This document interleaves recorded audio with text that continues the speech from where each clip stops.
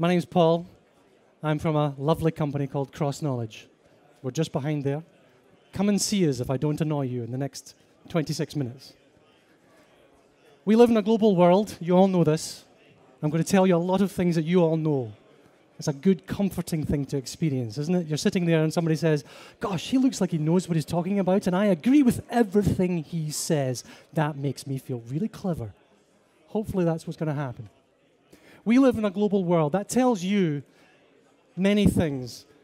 Two pictures of a polluted river here in China, 25 years apart, tell you that in the next 10 years, the companies that are going to run the world, we don't even know their names.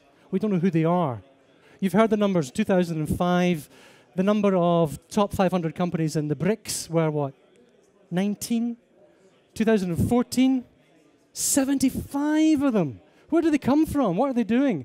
Stuff we've never even thought about yet. Who are these people? The global leaders of tomorrow are not going to be European, of that much we're pretty sure. They're also not going to be doing more with less or tightening their belts or optimizing their business processes. What they are going to be doing is aggressively finding, recruiting, retaining, engaging with new people. They're going to be busy transferring critical skills. They're going to be creating a learning culture. Oh, no, they're not. They're going to be trying to ride a tiger of the learning culture that already exists within their organization, racing after the organization that they're trying to support as that organization races after the market that it's found itself in that is constantly changing. That's what they're going to be doing. They're not in the business of HR optimization. No, they're not. They, and CrossKnowledge, one likes to think, we're really in the business of organizational transformation at speed. My mission, so my message to, do, to you today is very, very simple. It's try and focus on what makes learners learn, because that lets you change. Does that make sense? Nod your heads. Focus on what makes learners learn. How do you then react to the words learning management system? Learning management system. If you don't know what it is, you're in the wrong show. Learning management system. How any words? I think of rust, clunk, pain, but then again, that's mostly because my beloved Nissan just gave up the ghost. So I had to take it to the scrapyard. I'm thinking rust. Am I, am I on the right track here? You think of an LMS, it's a big, clunky, old transactional system with buttons that nobody likes. So I think perhaps we have to be moving from the traditional learning management system to a backbone of a learning organization. So I'm going to talk and show you a little bit about what CrossKnowledge does, because that's what I've got to show. I'm going to try, I'm going to do my very best not to make this a sales pitch. I'm not the sales guy, I'm the, the consulting director. So I spend all of my time with my customers. But if you really want me to, I'll pick your pockets later so you can sort of line up down here. So I'm going to show you a little bit about what we do. And how we are inspired to try and create answers to organizations who want to move quickly and to try and help them move quickly and to change using learning technologies. That's why we're all here. So, most learning management systems are you got a pound coin, you go up to your Coca Cola machine, you put a penny in the slot, push the button, out comes your product. It's a content distribution device, isn't it? You push the button, out it comes, job done. That's fine, but for it to actually be effective, it really has to be the learner experience that matters, no? Stick some content on a website, hope, sit back and watch as Rome burns in front of you as you fiddle wondering why nobody's using it. Push the door marked pull and find out again why nobody's using this. Because in reality, what you want to be doing is not just pushing stuff out and prescribing what people need to be doing, but allowing free access, allowing a degree of liberty, engagement, improvisation, creativity around people's self directedness in their learning lives. Move away from this whole idea that learning happens one thing at a time to being a lifelong process I could have done ballet as a kid, you know that? a lifelong process. 1885, we discovered, lovely man called Hans Ebbinghaus discovered in 1885 that process, event driven learning, one thing at a time, didn't work. 1885, and we're still thinking that one e learning course, one three day session is going to change anybody's behavior. Anybody, when's the last time anybody went on a classroom course? Within the last six months? Yeah? Last six months you went on a classroom course. 1885, we've known this. Stop doing it, it doesn't work. It has to be a process, it has to involve repetition, reinforcement, reflection, reignition, recognition, and it really isn't news. Compliance. Anybody have to deliver compliance training? You raised your hand there with a resignation. I have to do compliance training. Anybody have to actually take compliance training, the other side of the coin? Yeah? Fun, isn't it? Why are we forcing people to do this stuff? If you have this wonderful captive audience, of mandatory compliance training. Why aren't you actually making it fun? Fun compliance training. Why don't you get people to be engaged with the learning that they have in front of them? Because then there's a damn sight better chance that they'll actually learn the things that will keep them safe and your organizations safe. And as learning professionals, as I am assuming very many of you are, mightn't they not come to you and say, Gosh, that was fun. Can I have some more, please? Formalities, classrooms, e learning, virtual, this is all the formal stuff that you find out and about. What we need more of is the stuff that fits in the big 90% bucket of the 70 20 10 model. This informal stuff. It's like the work life balance that doesn't exist anymore. I have two small children. There is no work life balance. It's a work life integration. I think it's also a work learn integration. Isn't learning just something that should be a little invisible jacket you put on as you sit down at your desks every day? We take lots and lots and lots of bits of learning activities and whack them all together and call it a learning journeys, and it's not because we haven't glued them together. Or if we do glue them together, it's a next button that's gluing them together, and that doesn't count as glue because it's not very sticky. What you really want to have is something that is related, a journey that is pedagogically designed. The content itself can be beautifully designed by one of these many wonderful people around here, including ourselves, but it doesn't matter a damn if the journey isn't pedagogically designed as well. In fact, let's not have the discussion that pedagogy is the wrong word. It should really be andragogy. Thank you. I know that doesn't mean wearing women's clothing. So it's you want to be able to create adaptive learning paths that are personalized for individuals. You get 10,000 people at GDF Suez, we do this. 10,000 people at GDF Suez, new learning, new learning for new managers. Are all those 10,000 people the same? Of course they're not. How do you create a learning journey that gives every single one of them their own experience, meeting their own values, their own needs, and their own cultural context, and by the way, in each one of their own 16 languages? How do you do that? You use new learning technologies and you create a full blend of learning that answers those needs. In my dream, it should be a joy to build this stuff. In my dream, it shouldn't be the L&D chaps and chaps as, that sit there and plug away in these god-awful systems trying to build learning journeys, learning paths, communities, stuff like that. It should be anybody who can get out and build this. It should be a joy to design, to build, to create, to share. The easier it is, the, the happier you are at doing it, the more likely you are to do it more often. Doesn't happen in your office all the time, does it? Mostly, yes, it does. Yes, people mostly do most of their learning, especially e-learning, at their desks.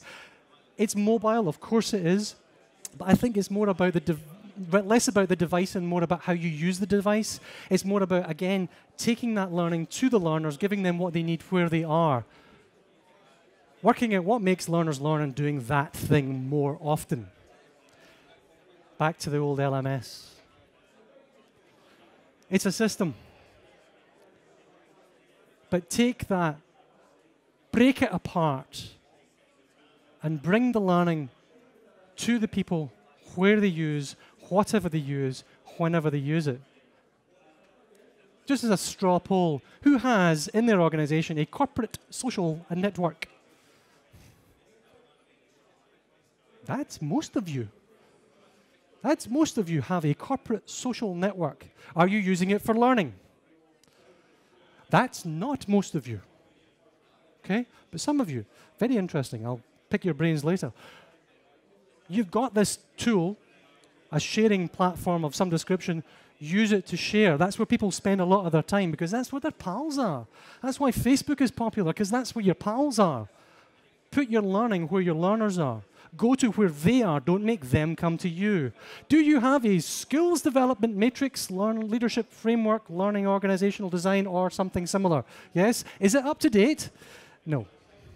Why is it not up to date? Because your organizations are messy, organic, constantly changing. It's like trying, as an economist, it's like trying to map the global economy in an Excel spreadsheet. The only real map of that sort of organization is the organization itself. So I'm very inspired.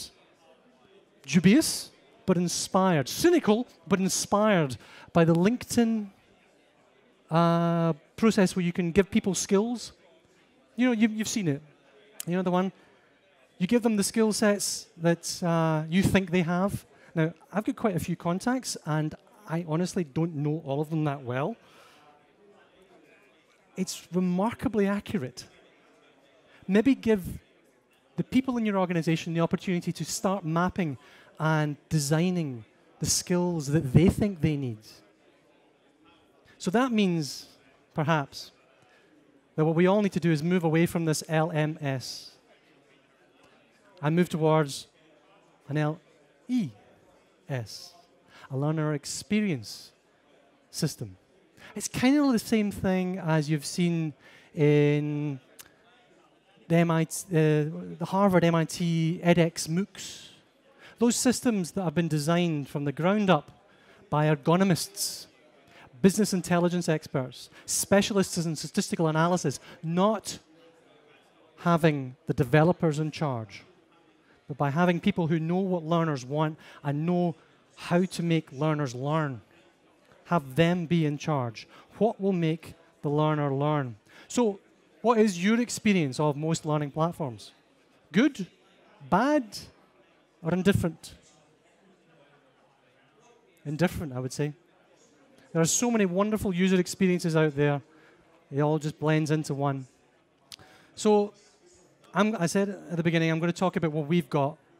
And this is my context, this is my experience. So I'm just going to share that with you.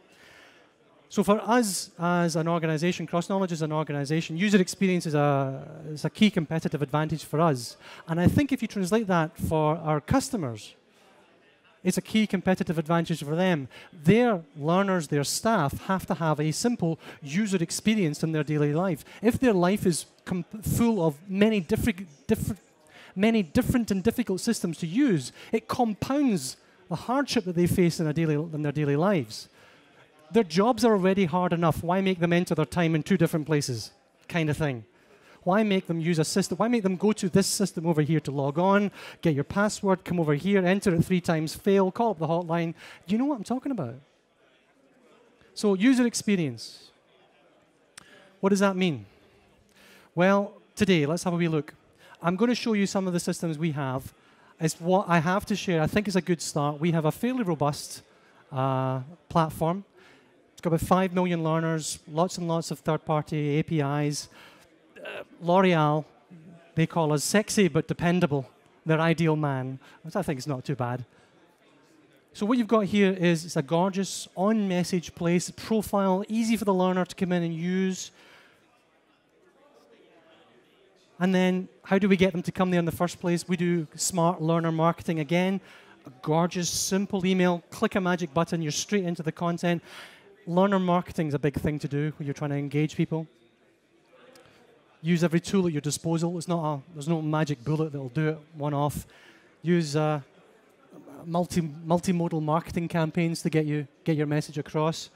Back to the idea of making it a joy for people to create content.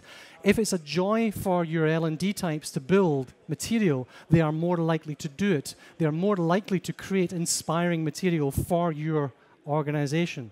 If it's a chore for them, they are less likely to. Nobody's shaking their heads. It is fairly simple. If it's nice and easy to use, people will use it. If it's a pig, nobody will use it. Don't buy a pig, buy something nice and easy. You get my point? Easy like a Sunday morning. So, in the near future, with that as a starting point, take that profiled learning portal idea further. We've got a little virtual coach here. Because you did this and you liked it, here's something else. It's a stage further than Amazon. Today, you go into Amazon, you want to buy a book. Other people who bought this will also like. That's fine, you haven't read the book yet. Because you did this, passed it, and liked it, you might also like the following things. So, a virtual coach recommending material to you, a dynamic user interface, something that changes as you progress through your journey. See the little sunshine up there? If you fall behind, you get a little rain cloud. It's sad. Bit of peer pressure as well.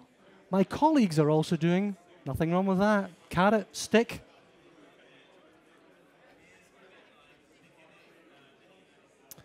Back to the corporate social network thing. In the systems we have, and many of the systems you'll see today, technically you can easily share stuff with other people. Why can't you copy and paste the URL into your corporate social network, Yammer, Facebook, email. Why can't I send it to my mum? I think she might like this. Why can't I do that?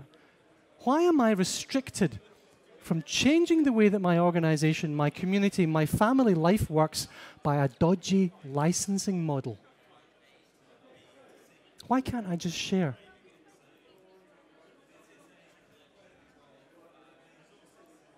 You've got to have an app, right? Everybody's got an app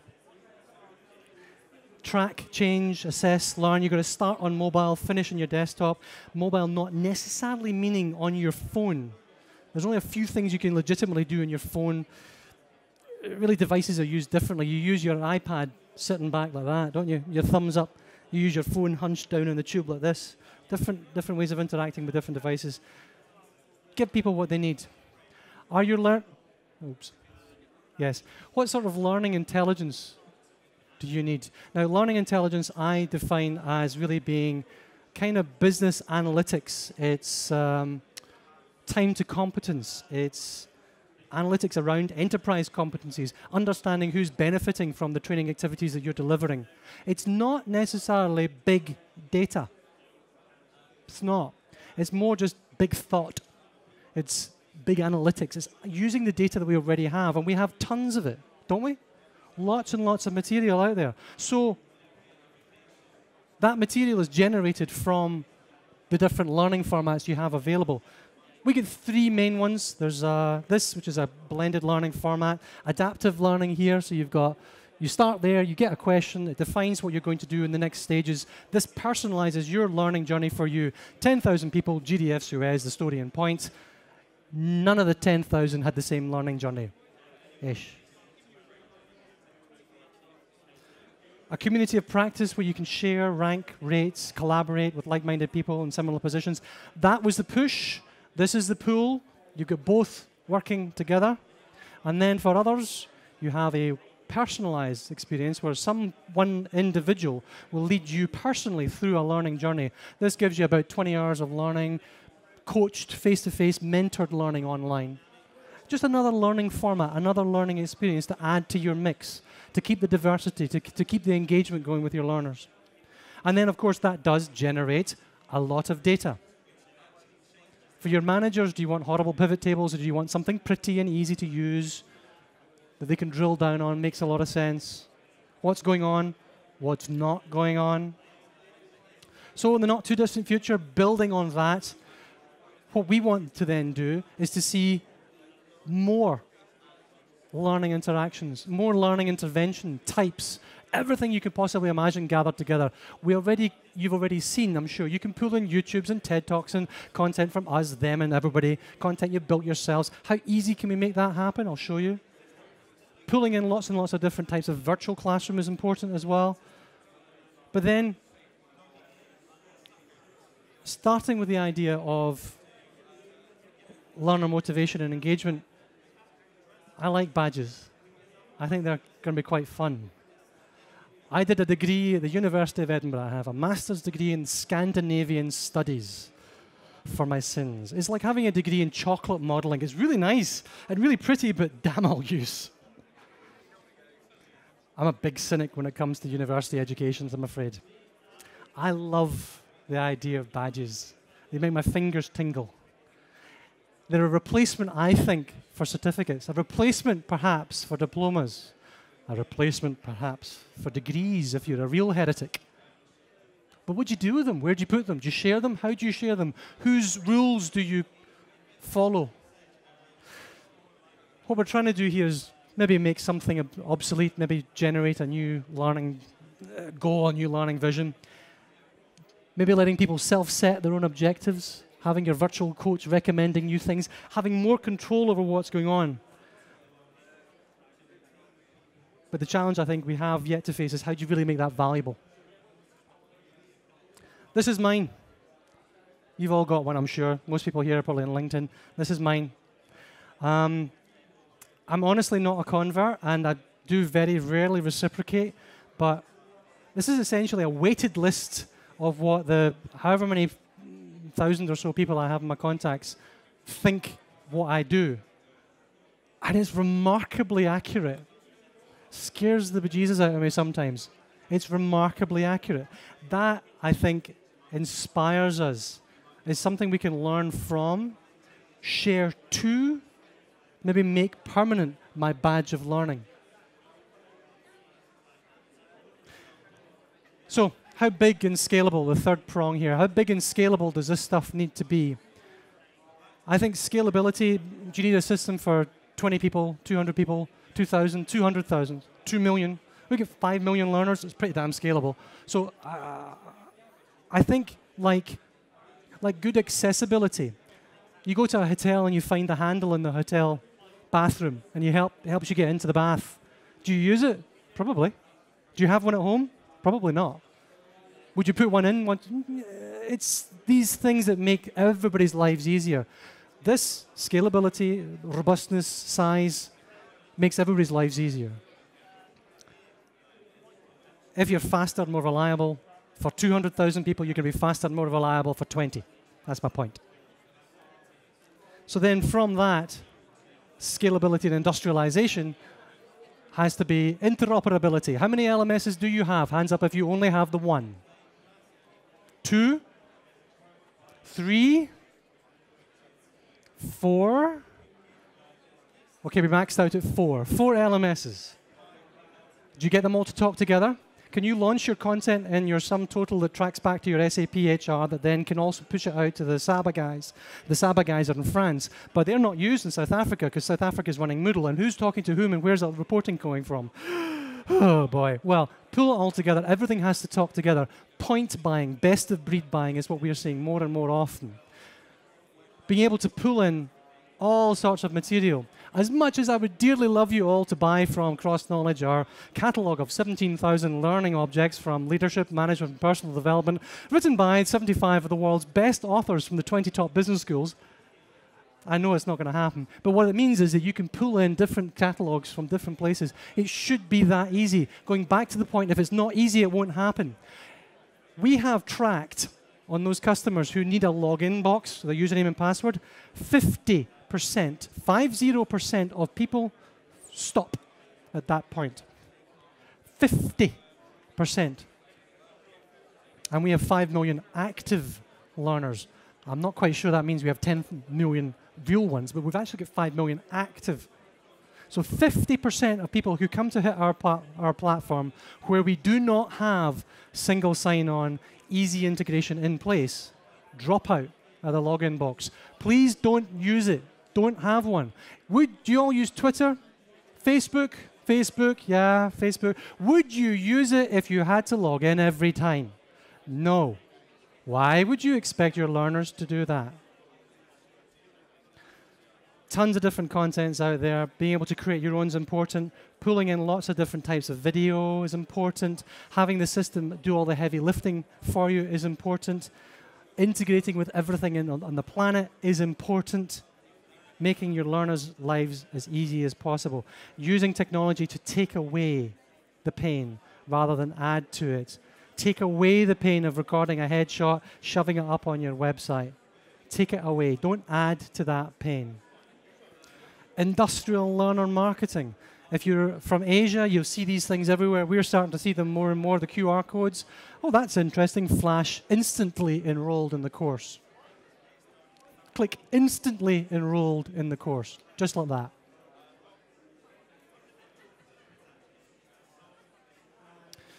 Two pictures of the polluted river in Shanghai, in China, 25 years apart. I think Shanghai's response to their changing business environment was to build hundreds of skyscrapers and cover thousands of acres of their countryside in concrete. That's their response to their changing environment. That's what they learned. But it isn't the strongest of the species that survives. Neither is it the fastest. It's the one that's most responsive to change. And how do you respond to change? But by learning. China's a case in point. 25 years in a Chinese time scale, it's nothing. What is their strategic, transformational goal? Is it to cover their countryside in concrete and build skyscrapers? Or is it that they now have a national life that, in response to that change, the national life demands that they now dedicate millions of square miles of their countryside to national parks. Maybe that's their response. Thank you very much indeed. If you get any questions, I'd be delighted to answer them.